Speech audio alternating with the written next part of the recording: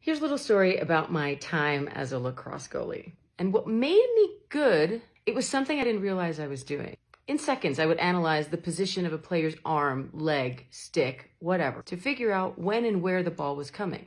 And then my reflexes would take over, and boom, I made the save, no goal. Until the day my coach said, I expect a shutout from you today. It ended up being the worst game I ever played. By telling me she expected a shutout, my coach then made me consciously think about every single shot and consciously think about what I needed to do to stop it. And by trying to take these things that I just did and try to make them happen, every shot went in. And here's how that relates to sleep. Putting in too much effort to try to sleep actually keeps you awake. The same way trying too hard to make each individual save actually forced me to miss all of them. So part of healing from insomnia is learning to trust your body and your brain are 100% capable of sleeping.